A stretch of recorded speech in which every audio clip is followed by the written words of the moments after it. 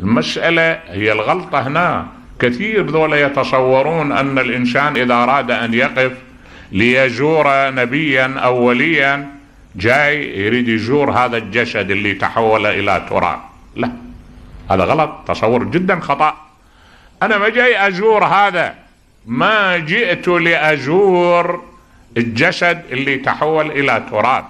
وإنما جاي أنا أزور الروح المرفرفة. الحية الخالدة اللي يأشر إلها القرآن الكريم. بسم الله الرحمن الرحيم. ولا تحسبن الذين قتلوا في سبيل الله أموات بل أحياء. فأنا عندما أزور لشهيد أو أزور الأنبياء ومو بس الأنبياء الناس العاديين إحنا من حضارتنا حضارة الإسلام أن النفس الناطقة حية. يعني الإنسان حقيقة الإنسان حي. اللي يروح بالتراب الجسد. زين إذا شنو المحاولة المقصودة من وراء هذا؟ يعني الآن أفرض هالدعوة العارمة اللي يتزعمها مثل ما قلت لك الشيخ ابن تيمية والقصيمي في كتاب الصراع بين الوثنية والإسلام وأكو شريحة تتبعهم في هذا المعنى. وبذلك يخالفون كل المسلمين. نبه كل المسلمين. إحنا نمر بالموضوع. اولا خلينا نجي نلاحظ أن هناك محاولة هناك محاولة سواء كانت مقصودة أو غير مقصودة لإفراغ الزيارة من أي شيء لإفراغها من مضمونها ومن محتواها وتحويلها إلى عملية عبث يعني يقول لك أن هذا عندما يريد يوقف ويكلم صاحب الغو يشمع صاحب القبر ويسلم عليه على شنو؟ يشمعه ما يشمعه زين تقول له إذا شنو معنى الاستحباب الوارد في زيارة القبور والروايات الواردة عن الرسول الكريم صلى الله عليه وآله بصورة عامة. ألا وإني كنت قد نهيتكم عن زيارة القبور فزوروها فإنها ترقق القلب وتذكر الآخرة. زين.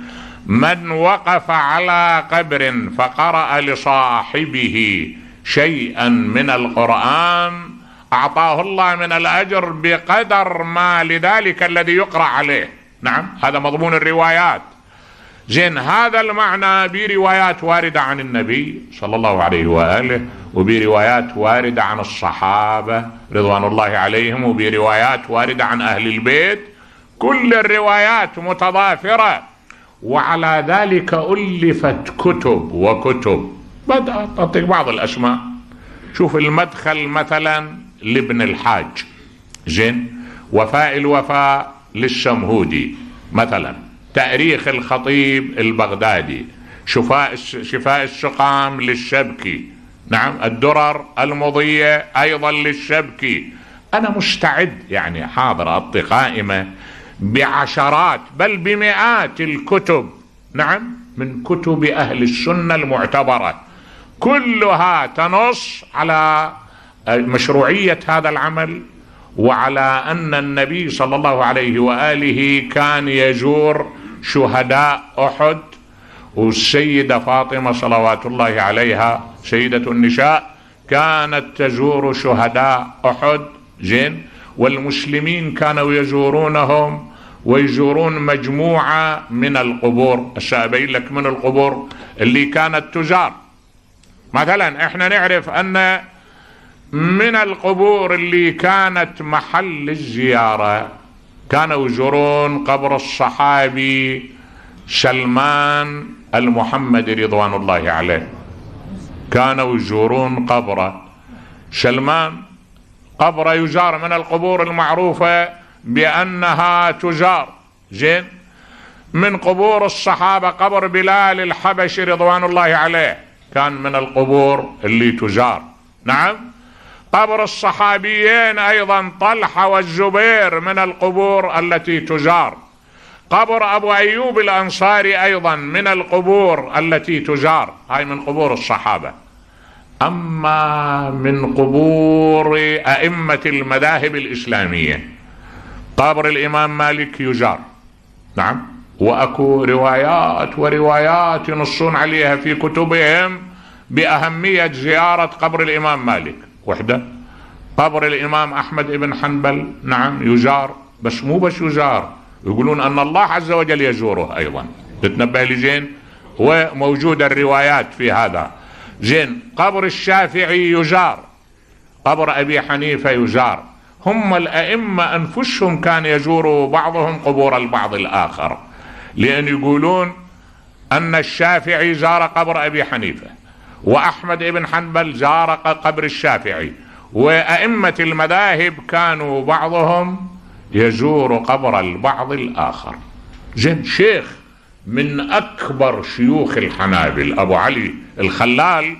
يقول الخطيب البغدادي هذا كان يروح كل أسبوع يزور قبر الإمام موسى بن جعفر سلام الله عليه. قالوا له أنت تروح شو تسوي؟ قال لهم والله ما همني أمر من الأمور. وقصدت هذا القبر وتوسلت به إلا وقضى الله لي حوائجي. يعني.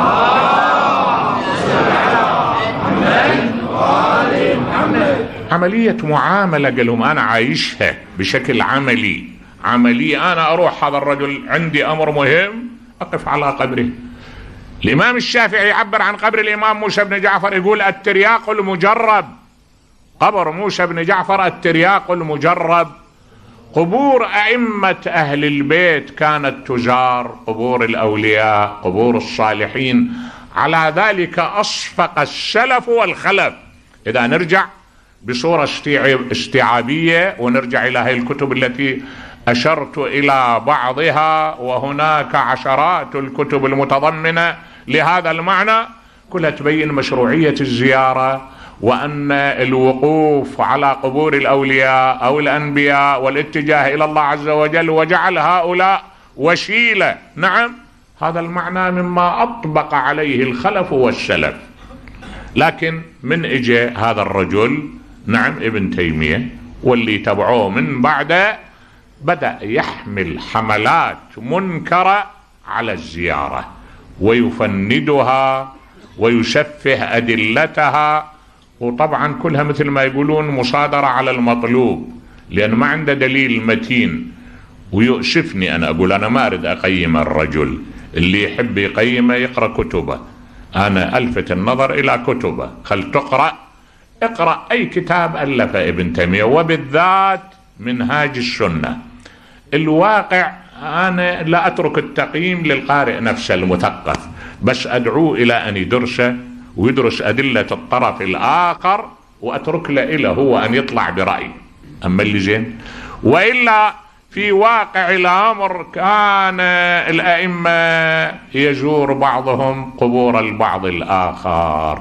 كانوا الصحابة يزورون قبور الشهداء قبور الأولياء قبور الصالحين. نعم.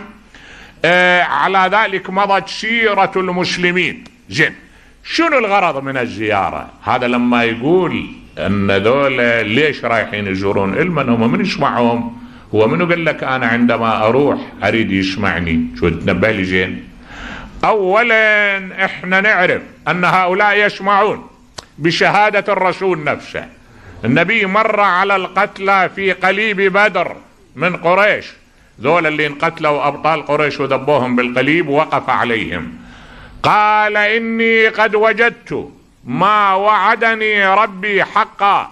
فهل وجدتم ما وعدكم ربكم حقا؟ قالوا له يا رسول الله أو يسمعونك تقول عندما تكلمهم. يسمعوك؟ قال والله ما أنتم بأسمع منهم. نعم. ولا يسمعوني تماما. لكن ما يقدرون على الإجابة. أبدا. زين نجي الآن الإمام أمير المؤمنين سلام الله عليه. الإمام عدل القرآن عدل الكتاب. نعم علي بن أبي طالب كتاب الله الناطق. زين. تلميذ القرآن اللي حمل مضامين القرآن. قرآن يمشي على الأرض. هذا الرجل يقف على القبور على الجبانة. يصيح السلام عليكم يا أهل الغربة. السلام عليكم يا أهل الوحشة. أما الديار فقد سكنت. وأما النساء فقد زوجت وأما الأموال فقد قسمت. هذا خبر ما عندنا. فما خبر ما عندكم؟ ثم قال والله لو أذن لهم لقالوا إن خير الزاد التقوى. نعم. يسمعون الكلام. أنت توقف الإمام المعصوم يوقف على الحسين سلام الله عليه. يقول له أشهد أنك تسمع كلامي وتقدر على رد جوابي. نبه لي. اذا ذول عدلوا الكتاب. الرسول نفسه وأهل بيته ذول ما يشكلون دليل. إذا آرائهم وآراء الصحابة وآراء المحققين من العلماء وآراء جمهور الأمة الإسلامية كلها هذه ما تعتبر أدلة ناهضة بمشروعية هذا العمل. يجي بس يتصور هذا أن ذولا أناس يعني سلبت مداركهم عقولهم بس هو الوحيد العبقري اللي يفتهم أه؟ لا مو هكذا يا أخي مو هكذا. لا مو هكذا. الواقع هاي ثغرة ما تفتح على على على حضارة المسلمين بهذا الشكل من البداوة والغلظة أبدا. الله عز وجل علمنا بجملة مما أنزل على لسان نبيه بأن هؤلاء ما ماتوا أبدا وإنما فرق بين أرواحهم وأجسادهم والأرواح شاهدة تسمع ومرفرفة ترى أهلها وتسمع ما يقولون لكن لم يؤذن لها بالكلام. ما أذن لها بالكلام. ولو أذن لهم بالكلام لقالوا إن خير الزاد التقوى.